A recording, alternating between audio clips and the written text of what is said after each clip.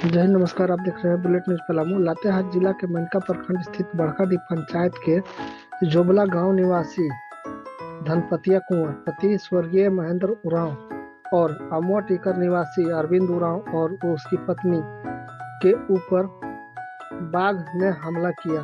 ये लोग महुआ चुनने जंगल गए हुए थे। इसी दौरान बाघ ने इन लोगों पर हमला कर दिया, जिसके कारण तीनों लोग घायल हो गए। तीनों लोगों को इलाज हेतु लातेहार सदर सदर अस्पताल भेज दिया गया है। मनका से अभय मांझी की रिपोर्ट। का नाम हो? नाम बोलो तो। धनपति पति कुंवर?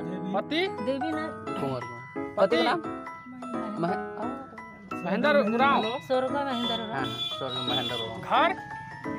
जबला। घर जबला है। के गो बाघ हलो हाँ? कितना बड़ा? बड़का बड़का बड़ बड़का है।